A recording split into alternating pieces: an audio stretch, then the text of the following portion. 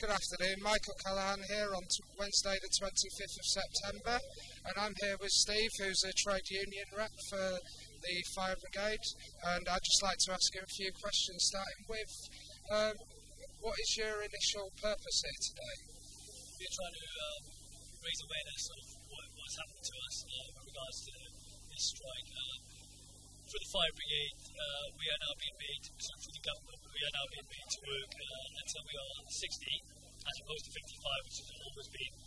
Uh, also, with that, the, a very physically demanding very, job. very extremely physical, demanding job. Um, I'm still young, I'm in my mid 30s. I find the job challenging now. To be asked to be doing it in 25 years' time, I think is utterly ridiculous.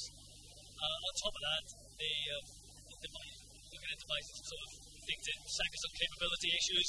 If we can't do our job at 57, 58, 59 years old, and in theory that could mean we could be leaving our jobs with, uh, pen, a severely depleted pension, and that we wouldn't be able to get it until our state pension age, which by the time I'm that age, we don't know how, how old that could be. So it's chase it or die trying. Exactly, that's right. And, and you know, apart from that, we are also being made to increase our pension contributions. We already pay the highest contributions um, along with the police in the private uh, public sector, and now we're being asked to pay even more. And it's just come to a stage where we have to draw a line really and say enough's enough. Absolutely. Has there been any uh, any further cuts on the other end of uh, your sector at the moment? Oh yeah, there's a lot. There's a lot of cuts going on for the, uh, the fire brigade nationally. Uh, obviously, our budget has been slashed from the government actions of the banks, etc.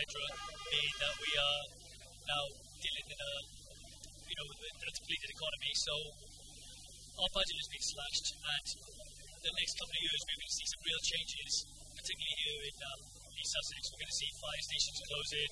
Uh, there will be less and less frontline firefighters, and um, it will be, despite what um, management say, it will be the public at further risk. And again, this is something that we have to try and. So, uh, how does this affect the worker as an individual, and, and how also does that affect uh, across the board when you work together as a team and you're working home?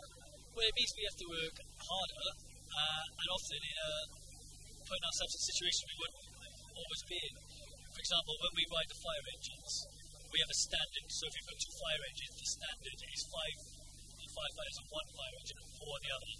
However, and it's been recognised that that crew, that's uh, nine in total crew, is what we need to effectively out a house fire or respond to a road traffic collision. Everyone has their role. That's right, yes.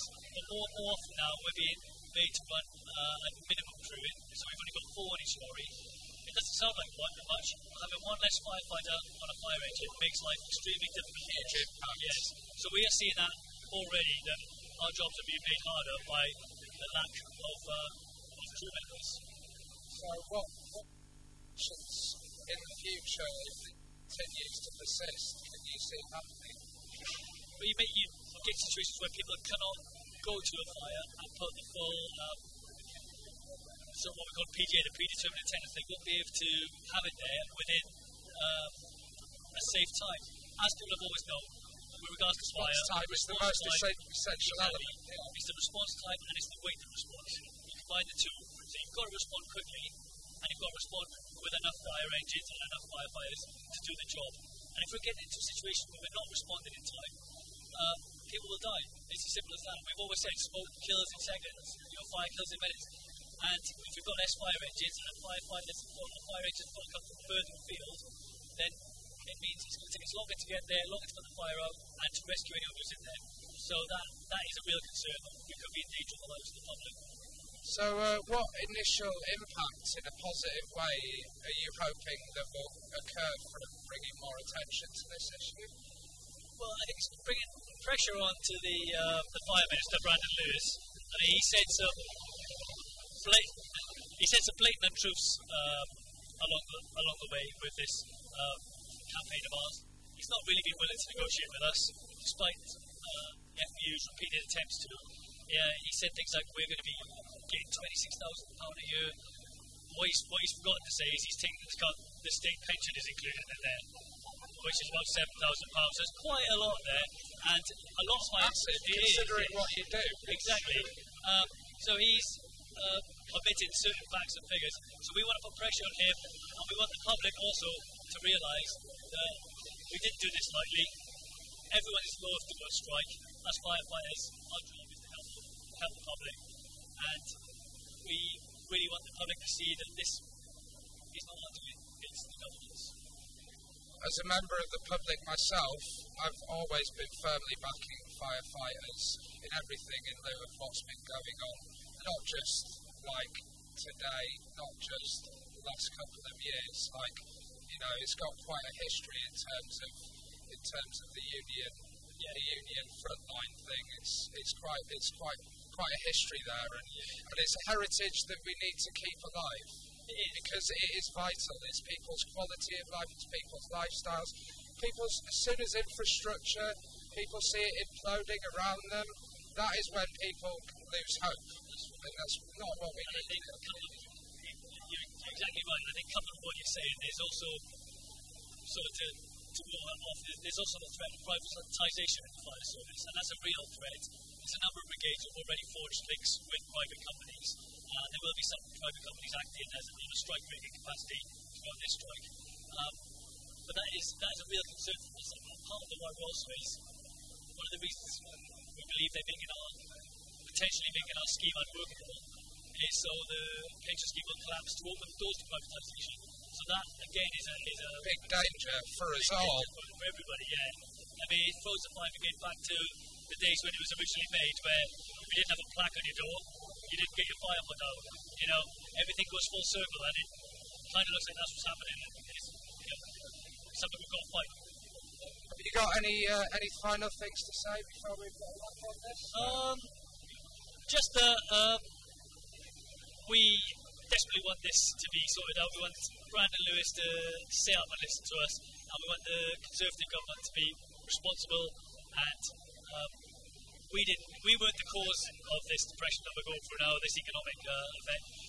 We didn't create the hardships, and we think the people who did will now get the, the bankers who are now receiving their bonuses again, and it's business as usual. It should be them who are being um, hit, and not us.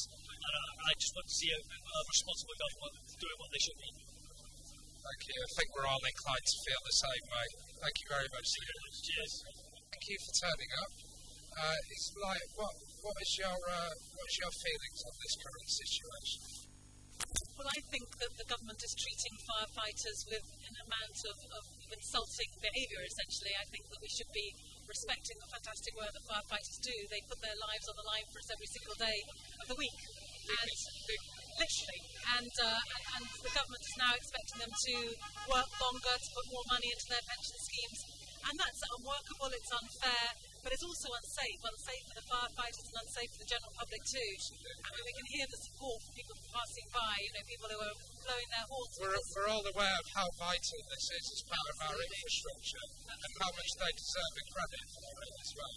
Exactly, and the idea that you know this this uh, austerity problem, this deficit that was caused certainly not by people like firefighters. Engineered.